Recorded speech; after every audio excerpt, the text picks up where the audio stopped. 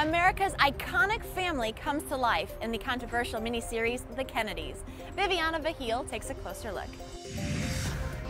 Few families are as iconic as the Kennedys. John F. Kennedy served as U.S. president between 1961 and 1963, but his legacy lives on today.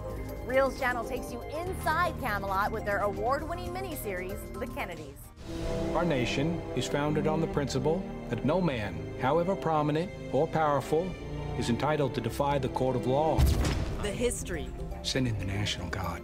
The drama. You really think everyone can be bought? The intrigue. I'm not leaving you, Jack. It's got it all.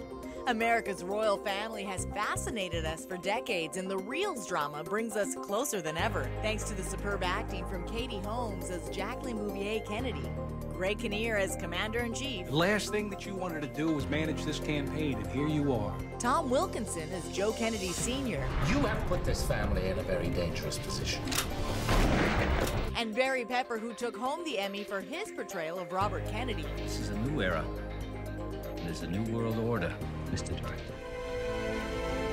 You get lost in this dramatization of the Kennedy saga. Touted as the best miniseries you almost weren't allowed to see, the controversial drama airs on Reelz Channel October 6th, 9 p.m. Eastern, 8 p.m. Pacific.